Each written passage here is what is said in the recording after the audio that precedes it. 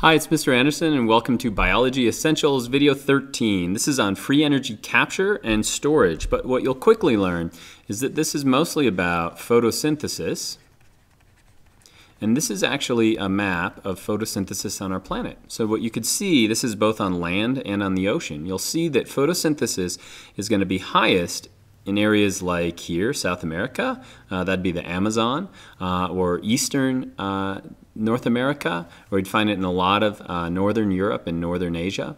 Um, and so it's mostly about photosynthesis. Oh, and we also see it in the ocean. So we're going to see a ton of it near the equator, but not exactly at the equator. And I imagine that has to do with the currents. Um, the other thing it's going to be about is going to be about respiration. And so I'm going to try to get through the whole thing on photosynthesis and respiration.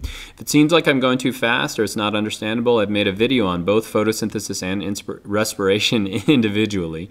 Um, and so take a look at those, and I, I hope that'll be helpful. Um, so what am I going to talk about in this? Well, just like in the last podcast, I'm going to talk about how life uses free energy. The goal of life is to make ATP, so we can use energy. Now, there's two life strategies. There's the life strategy of the autotrophs, an example would be a plant. Those are things that make their own food. Um, and then the heterotrophs, and an example would be you, and you're a heterotroph. That means you eat your own food. And so autotrophs on our planet mostly use photosynthesis. So they take energy from the sun in both the light reaction and the Calvin cycle to make sugars uh, or to make macromolecules that they can use. There's a, a, obscure group of organisms on our planet that don't have light available. And it doesn't mean that they're out of luck. They use chemosynthesis. So they, they use the energy found in chemicals to actually make their food.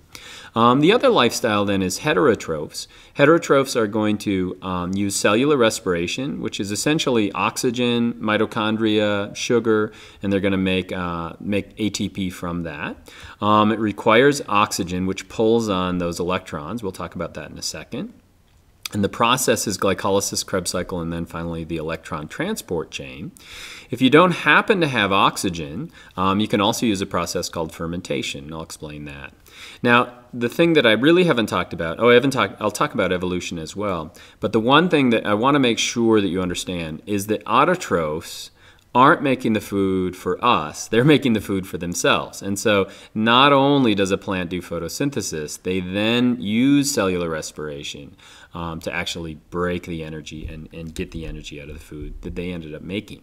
And so this kind of summarizes that cycle. Um, so what we have are the, the way of the heterotrophs. They take organic molecules and oxygen and they use that to make carbon dioxide and water. We call that process cellular, process cellular respiration. And then autotrophs will actually convert that back into organic molecules so they can then utilize that energy. And so most of those on our planet use photosynthesis, like plants, uh, and most of the heterotrophs use cellular respiration. Example would be like a cheetah. But I do want to briefly talk about chemosynthesis. Chemosynthesis occurs where there's not a lot of light on our planet. Where's a great example of that? Deep, dark in the ocean. Uh, and so these are giant tube worms, which can get something like 21 feet long, so pretty ridiculous. Um, but these tube worms actually have uh, right here this portion um, where they're actually taking in carbon dioxide, taking in oxygen, taking in uh, hydrogen sulfide gas from these black smokers, which is just uh, organic material coming out of a, situated over a hotspot. And what they're doing is feeding bacteria that live in their gut. Those bacteria that live in their gut are actually taking that hydrogen sulfide gas and they're utilizing the energy from that to make simple carbohydrates. And so they don't require light at all. They're actually making sugars using uh, powers of the chemicals. Um, another example of that is what if you don't have oxygen? Well, you can use a process called fermentation. And so this is how wine is made. Uh, it's a barrel that they've actually cut in half. And so these are yeasts that are would die because you're you're not letting them get any oxygen, but they can actually do alcoholic fermentation to survive. Uh, until they eventually die. Um, we use something called lactic acid fermentation to do the same thing. It's a form of uh, energy um, capture, um, but we don't require oxygen to do it. Okay, so let's talk about photosynthesis and respiration. So this is uh, my animation for how photosynthesis works. And the one thing that you want to always the, the problem when you're doing photosynthesis and respiration is that you get so into the steps that you don't really understand what's going on. You miss the forest for the trees. And so what we're doing in photosynthesis is taking carbon dioxide, plants take that in, taking water, converting that to glucose, and eventually to oxygen. And so if I animate it, it looks like this. And so what we're doing is we're taking the carbon in carbon dioxide and we're actually turning that into carbon in uh, glucose. We're releasing oxygen as a waste product, but what we're really doing is we're storing energy in this glucose molecule. The delta G, or the free energy, is positive. That means that we're storing energy in that glucose molecule. We're actually storing it in these bonds right here between the carbon and the uh, hydrogen. Now, it's not as simple, I wish it was, it's not as simple a chemical reaction as this. It's actually pretty complex. Um, but what I don't want you to miss is I don't want you to miss what happens to the carbon dioxide, what happens to the water, and how does that convert into glucose and, and oxygen. And so if you've missed that, then uh, I've done a bad job. Okay, whenever I'm thinking about photosynthesis, I actually break it down into the two words so I can remember the different parts. The photo part is the light reaction, and photo means light. And synthesis means to build, and so that's going to be the Calvin cycle. And so the photo part, or the light reaction, is going to take place, the whole thing takes of photosynthesis takes place in the chloroplast, and here's a bunch of chloroplasts inside a plant cell. But the light reaction is going to take place right here. It's in the thylakoid membrane, and if we have a bunch of thylakoid membranes stacked up, then we call that whole thing a granum. So what happens in the light reaction, we take in water, we take in light, and we release oxygen, and then we store that energy in ATP and NADPH. The next step is the Calvin cycle. Calvin cycle, where does that take place? Well, that takes place in this liquid portion inside the chloroplast. That's called the stroma. And in the Calvin cycle, we're going to take the energy of ATP and NADPH, and we're going to take carbon dioxide, and we're actually going to make sugars out of it. And so in summary, that's what photosynthesis is. It's taking in energy in the form of light and eventually storing that energy in sugars. So what is that uh, sugar we're talking about? Glucose, like I just mentioned a second ago. Now the actual process is, is not that simple. And so the light reaction is where you should spend most of your time trying to figure out photosynthesis. And so where are we? We are in the thylakoid membrane. So this is going to be inside the chloroplast itself. And so what we get is light. And that light is going to come into photosystem 2 and photosystem 1. Inside here we have chlorophyll. Chlorophyll is a, a magical pigment that can absorb light energy and get excited and pass that excitement on in the form of electrons. And so the first thing that happens, let me change color, is that light comes in and that gets the chlorophyll excited. Um, it also is going to pass an electron down an electron transport chain. So let's follow where that electron goes. It eventually goes to NADPH. And so that electron that goes down this electron transport chain has to come from somewhere. And so where is it coming from? It actually comes from the water. So again, what is another thing that we need in the light reaction? We need water. And so the energy is coming from that, or the electrons coming from the water. That's splitting water, and it's splitting water into oxygen, so oxygen, remember, is one of the products that we give off in photosynthesis. That's what you're breathing right now. Um, but we also create protons. Protons are simply hydrogen atoms that have lost their electrons. And I'll get back to those in a second.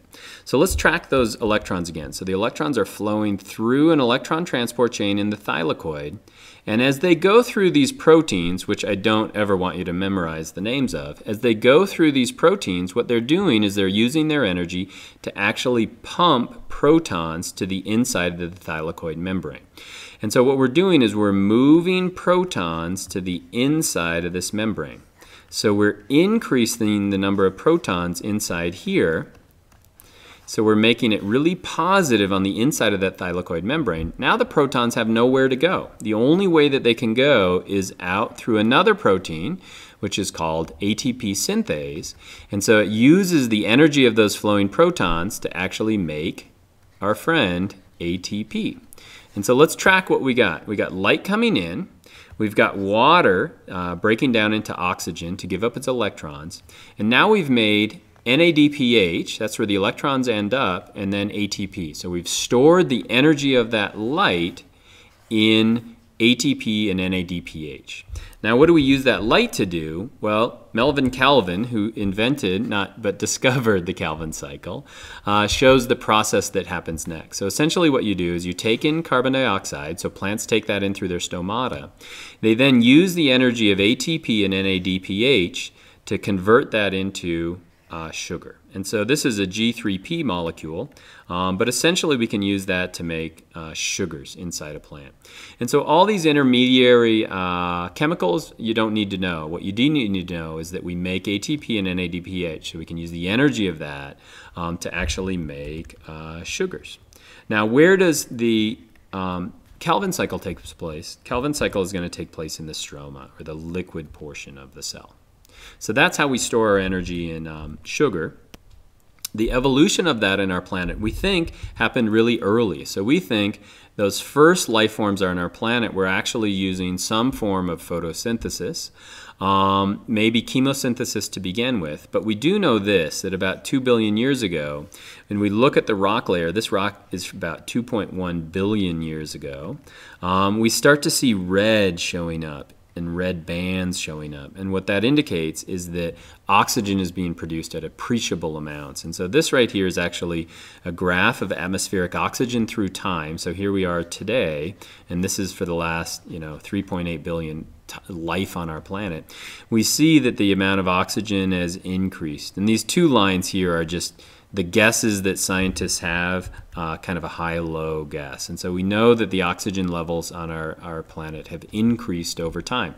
Where did that oxygen come from? It actually came from photosynthesis. Okay, next let's go to cellular respiration. What happens in cellular respiration? Cellular respiration, we're actually using the energy in those sugars, so in glucose. In the presence of oxygen, we're breaking that down into carbon dioxide and water, and we're releasing energy from that. So let's see what that looks like. So we break down that glucose. That's a exergonic reaction. We're releasing energy. We're making carbon dioxide, we're making water, but we're mostly making energy in the form of ATP that we can use. Again, it's not as simple as this, so let's get to uh, what respiration really looks like and how it, where it takes place. And in order to do cellular respiration, you need a mitochondria, and you also need one more thing, you need O2. You need oxygen. So the parts of the mitochondria that you should become familiar with, uh, first of all, we've got an outer membrane. Outer membrane is going to be this portion right here. We also have an inner membrane, so it looks like that. Uh, we have an inner membrane space. The inner membrane space is going to be right between the outer and the inner membrane. And you see here that we have these folds that go on uh, the inside of that inner membrane. And what that does is increase the surface area. But the last thing that we should become familiar with is actually called uh, the matrix. Matrix is going to be the inside of the mitochondria. And so the parts of cellular respiration, the first part is called glycolysis. That'll actually take place out here. Next thing is going to be the Krebs cycle. Krebs cycle will take place in here. That's in the matrix. And then finally we have the electron transport chain. Electron transport chain is going to take place along that inner membrane. Uh, and so the reason we have that folds is to increase surface area. Now this looks a little scary, the diagram, but it shouldn't be that scary because we're going to miss all the intermediates. So what do we start with? Glucose, and we break that down into pyruvate. One thing that you should know is that glucose is a six carbon molecule. And uh, down here at pyruvate, we have two three-carbon molecules. Uh, we release a little bit of ATP in glycolysis, and that takes place outside of the mitochondria. Next, we enter into the Krebs cycle. In the Krebs cycle, we're going to take that carbon, which is in pyruvate, and we're going to release that as carbon dioxide. But the important thing we're doing in the Krebs cycle is we're storing energy. We're storing energy as NADH, uh, NAD, and FADH2, or FAD. So we're restoring the energy that was found in the pyruvate in NAD and FAD, so we can finally use that in the electron transport chain. Let's look at what happens in a little more detail as far as the electron transport chain. We've stored energy now in NAD, and we've stored energy in FAD, we're going to transfer that energy in the form of electrons, just like in photosynthesis, we've now got an electron transport chain. It's not in the thylakoid, it's the inner membrane. But as we transfer that electron through the electron transport chain, we're pumping protons to the outside of the inner membrane. So it's now in this inner membrane space. We now have a buildup of all this positive charge here. The only place it can go is through our friend ATP synthase and we eventually make ATP. So that energy that you use right now, that energy that you're using to think, to move, uh, all of the actions, that ATP comes from that flow of those protons through here. Now, the puzzle's not quite complete because we've dropped off that energy of NADH uh, and FADH2. Well, let's follow what happens to that electron. That electron is eventually going to combine with oxygen and hydrogen, and we're going to make H2O. And so who's pulling that electron the whole way? Our friend oxygen. Oxygen is pulling that electron towards it. It's highly electronegative. And when it finally gets to it, we've made our product. We've made our H2O, which is given off, but more importantly, we've made ATP. And we've made energy through this process of cellular respiration. So photosynthesis and respiration are how we utilize energy, free energy from the sun, uh, to make ATP, to make ourselves grow. Uh, so I hope that's helpful.